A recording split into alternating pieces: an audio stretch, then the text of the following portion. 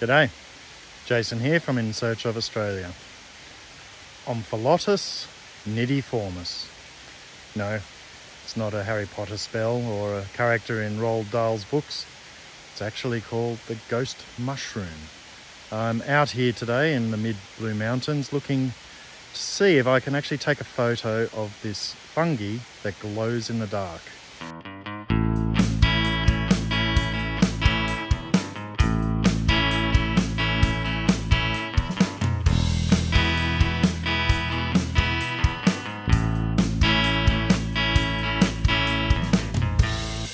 Lot of the pine forests and national parks close to Sydney, but also outside Sydney and down the south coast, there's this particular mushroom or fungi that grows that glows in the dark. So when you're searching for these things, it's best to do it in daylight. I'm down at a waterfall which has quite a lot of uh, subtropical trees around, lots of mulch on the ground. And I'm trying to spot the mushrooms so that if I come back later tonight with my camera, I know where to look. So what we're actually looking for is quite often old tree stumps that are decaying. The fungus grows in those sorts of areas. And there's lots of moisture here. We had a lot of rain lately. As you can hear, the waterfall's running quite heavily. But what I'm trying to find are old stumps or even sort of older trees where the fungus will start growing.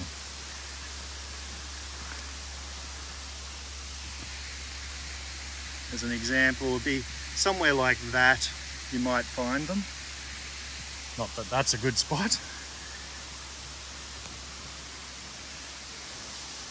But you can see that there's heavily mulched ground. It's semi-rainforest, so the moisture keeps retained here enough for us to have fungi grow. This is the wrong sort of fungi. What I'm looking for should be quite white.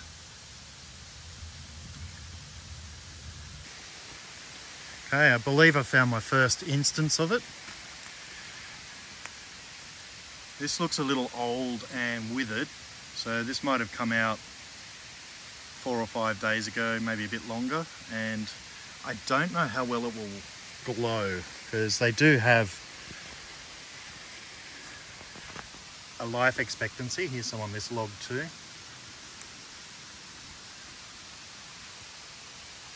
But you never know, they might glow. More there.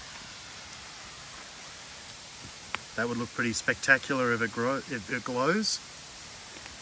I'll keep looking.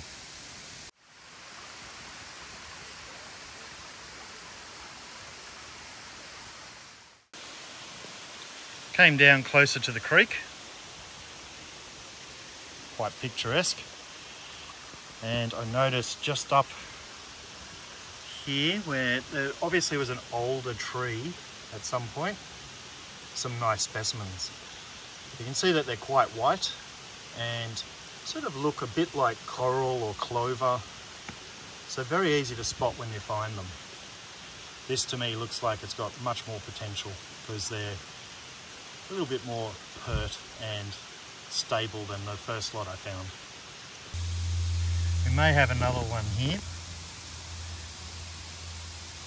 Doesn't quite look as healthy as the other two I found earlier. But I'll mark this on my map and check it out later. Another thing I might check out is apparently there's a glowworm nook somewhere around here. I don't know whether this is it or I'd need to find somewhere else.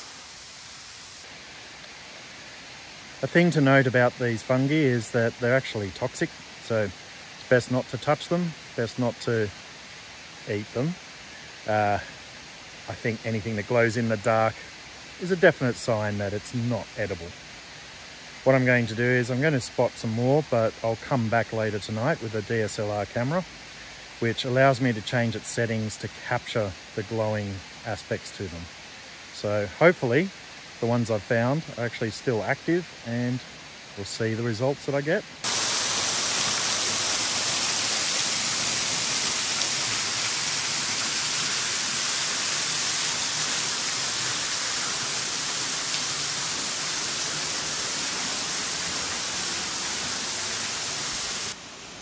Been these strange markers on the trees too. I don't know whether I'm being led to some cult area for sacrifice or what. It's quite fascinating to realise that I've only really walked about 20 metres up some steps and it's hidden that whole area that I was in. The waterfall, the creek. You can see how easy it is to get lost here. The terrain changes very quickly. Now there's something that gives me the SH1 teas. I don't know why people can't just carry their rubbish out. It's literally 20 metres out of here. And put it in your bag, your pocket if it's small enough. And it's also an illustration of how we just tend to dump stuff wherever we like. Here happens to be where there was a mass crayfish kill because someone decided to just empty their weed killer into the drain and it obviously came down here with the stormwater and killed thousands of crayfish along this stream. All I need to do now is wait for that sun to go down.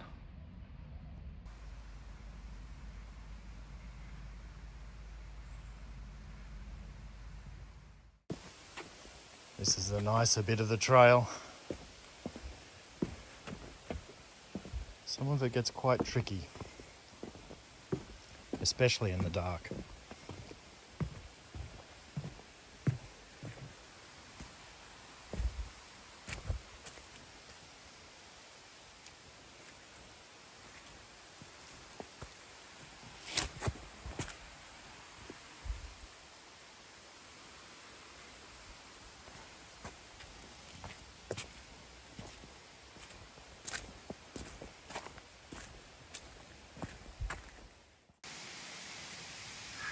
So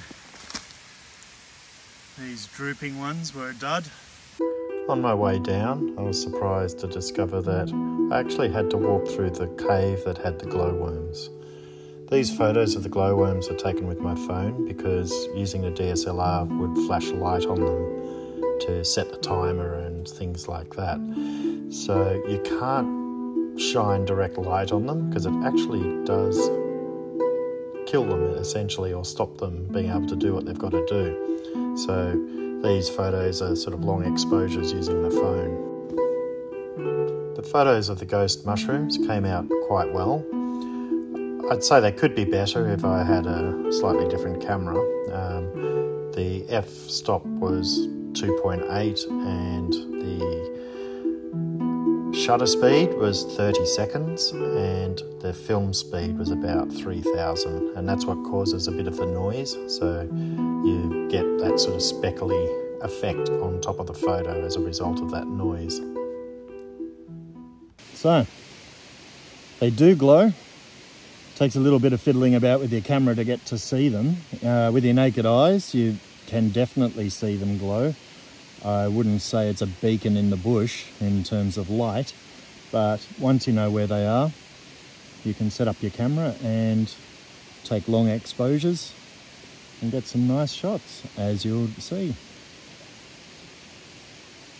Hope you're interested in this one. Bit different from the normal videos that I've done, but I'm in search of all sorts of stuff. See you in the next video.